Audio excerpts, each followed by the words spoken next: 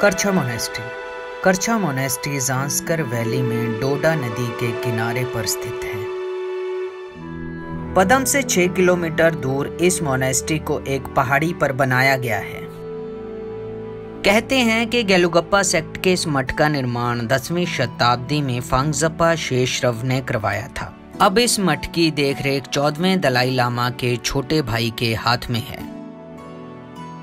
इस मठ में आठ मंदिर चैपल 150 भिक्षुओं के लिए कमरे और एक असेंबली हॉल भी है। इस असेंबली हॉल में खूबसूरत मूर्तियों और दीवारों पर बनी हुई कलाकृतियों को भी देखा जा सकता है।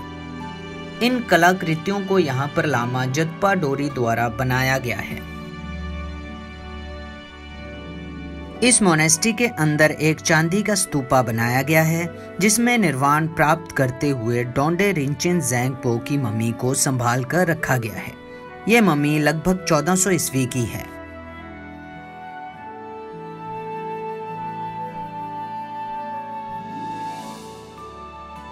इतिहासकारों का मानना है कि कुषाण काल में यहाँ पर खेसा जाति के मांस लोग रहते थे, जो शुद्ध आर्य नस्ल के कहलाते हैं। एक पुराना त्योहार गूस्टर फेस्टिवल यहाँ पर हर साल जनवरी महीने में मनाया जाता है। इस फेस्टिवल में भिक्षुओं द्वारा शम्स नामक मुखौटा नृत्य पेश किया जाता है। यात्रियों के लिए यहाँ आने का सबसे सही महीना होता है मई से लेकर सितंबर।